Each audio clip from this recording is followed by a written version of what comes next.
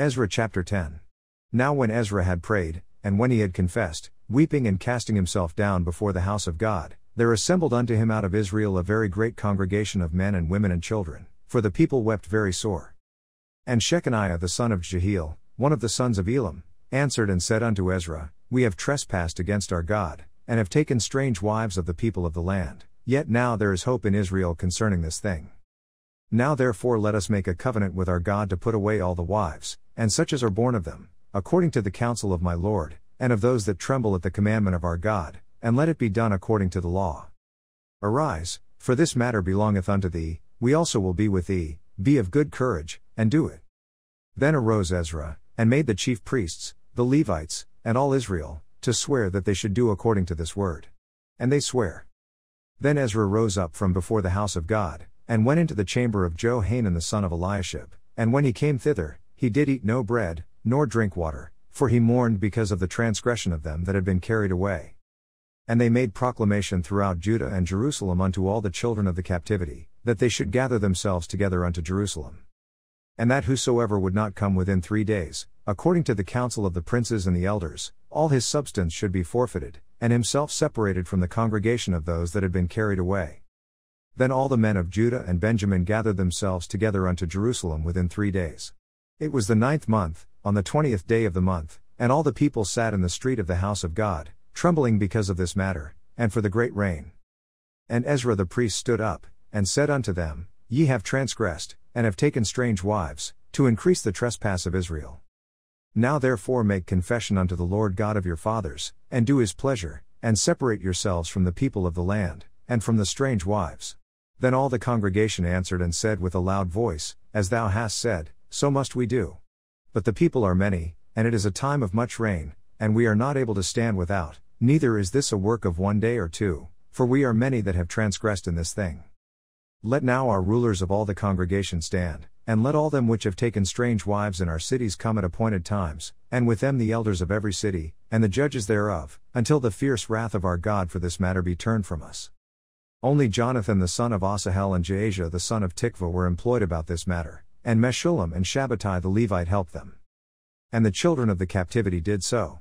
And Ezra the priest, with certain chief of the fathers, after the house of their fathers, and all of them by their names, were separated, and sat down in the first day of the tenth month to examine the matter.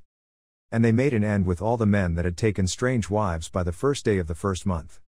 And among the sons of the priests there were found that had taken strange wives, namely, of the sons of Jeshua the son of Jozadak, and his brethren, Maaseiah, and Eliezer, and Jarib, and Gedaliah.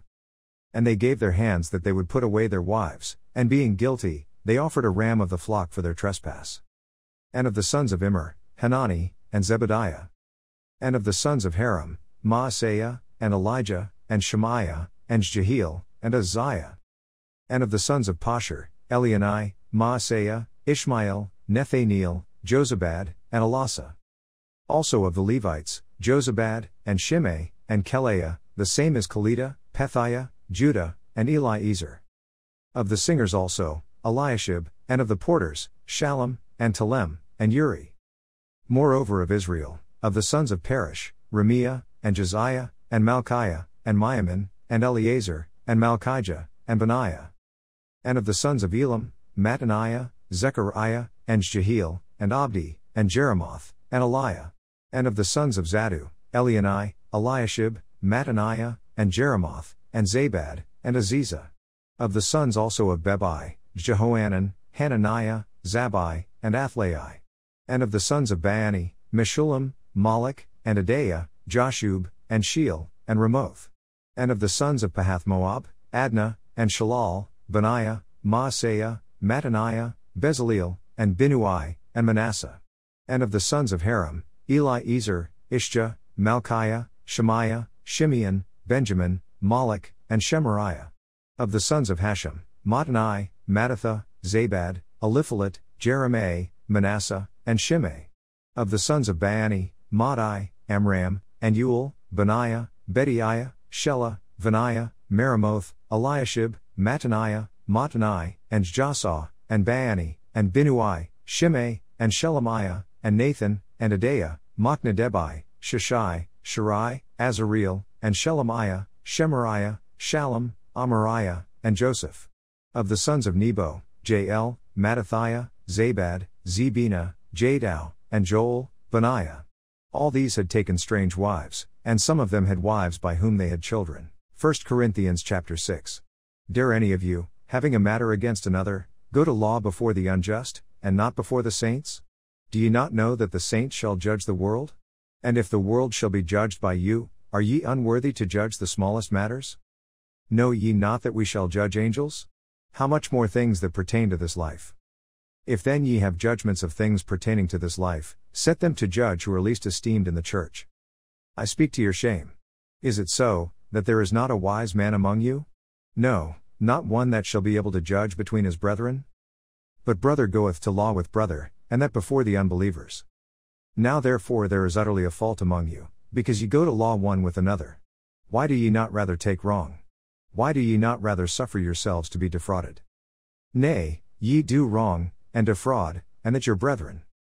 Know ye not that the unrighteous shall not inherit the kingdom of God? Be not deceived, neither fornicators, nor idolaters, nor adulterers, nor effeminate, nor abusers of themselves with mankind.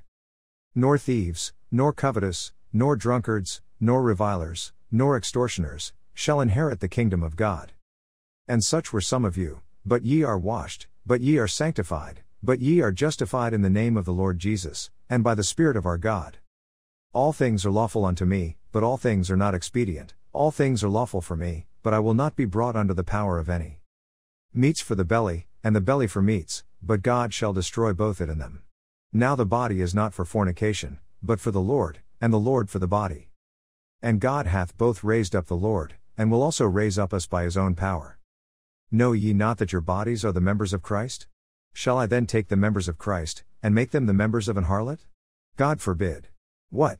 Know ye not that he which is joined to an harlot is one body? For two, saith he, shall be one flesh. But he that is joined unto the Lord is one spirit. Flee fornication. Every sin that a man doeth is without the body, but he that committeth fornication sinneth against his own body. What? Know ye not that your body is the temple of the Holy Ghost which is in you, which ye have of God, and ye are not your own? For ye are bought with a price, therefore glorify God in your body, and in your spirit, which are God's. Psalms chapter 31 verses 9 through 18. Have mercy upon me, O Lord, for I am in trouble, mine eye is consumed with grief, yea, my soul and my belly. For my life is spent with grief, and my years with sighing, my strength faileth because of mine iniquity, and my bones are consumed. I was a reproach among all mine enemies, but especially among my neighbors, and a fear to mine acquaintance they that did see me without fled from me. I am forgotten as a dead man out of mind, I am like a broken vessel. For I have heard the slander of many, fear was on every side, while they took counsel together against me, they devised to take away my life. But I trusted in thee, O Lord, I said, Thou art my God. My times are in thy hand, deliver me from the hand of mine enemies, and from them that persecute me. Make thy face to shine upon thy servant, Save me for thy mercy's sake. Let me not be ashamed, O Lord, for I have called upon thee. Let the wicked be ashamed, and let them be silent in the grave. Let the lying lips be put to silence, which speak grievous things proudly and contemptuously against the righteous. Proverbs chapter 21 verse 3. To do justice and judgment is more acceptable to the Lord than sacrifice.